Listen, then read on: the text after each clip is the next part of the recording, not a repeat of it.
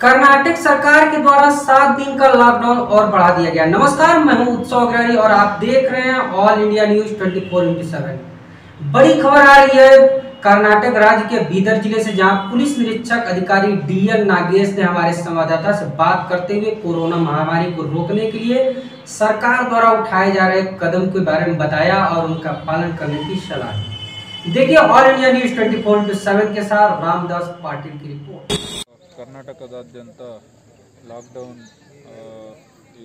ಈಗ ಜಾರಿಯಲ್ಲಿದ್ದು ಅದನ್ನು ಏಳನೇ ತಾರೀಕಿಂದ ಹದಿನಾಲ್ಕರವರೆಗೂ ಒಂದು ವಾರದ ಕಾಲ ಮಾನ್ಯ ಮುಖ್ಯಮಂತ್ರಿಗಳು ಕರ್ನಾಟಕ ಸರ್ಕಾರ ಇವರು ಎಕ್ಸ್ಟೆಂಡ್ ಮಾಡಿ ಘೋಷಣೆ ಮಾಡಿರ್ತಾರೆ ಇವತ್ತು.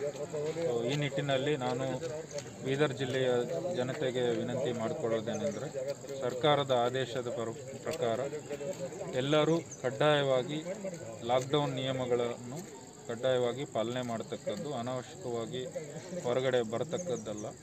ಯಾವುದಾದರೂ ಅಗತ್ಯ ಕರ್ತವ್ಯಗಳು, ಅಗತ್ಯ ಪರಿಸ್ಥಿತಿ ಇದ್ದಲ್ಲಿ ಮಾತ್ರ ಮನೆಯಿಂದ ಹೊರಗಡೆ ಬರೋದು.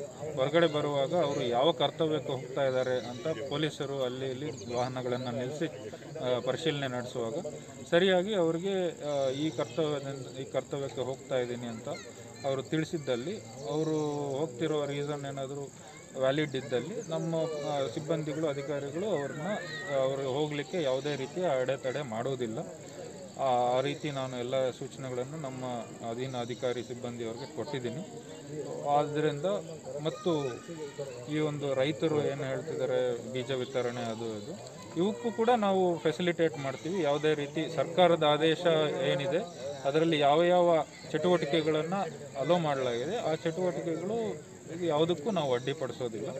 ಸೊ ಸ ಎಲ್ಲಾದರೂ ಅವರ ವಾಹನಗಳನ್ನು ತಡೆದು ನಿಲ್ಲಿಸಿದ್ದಲ್ಲಿ ಪೊಲೀಸರು ಪರಿಶೀಲನೆ ಮಾಡಿದ್ದಲ್ಲಿ ಸರಿಯಾದ ರೀಸನ್ ಕೊಟ್ಟಲ್ಲಿ ನಾವು ಅವ್ರಿಗೆ ಫೆಸಿಲಿಟೇಟ್ ಮಾಡ್ತೀವಿ ಯಾವುದೇ ರೀತಿ ಅಡ್ಡಿಪಡಿಸೋದಿಲ್ಲ. ಥ್ಯಾಂಕ್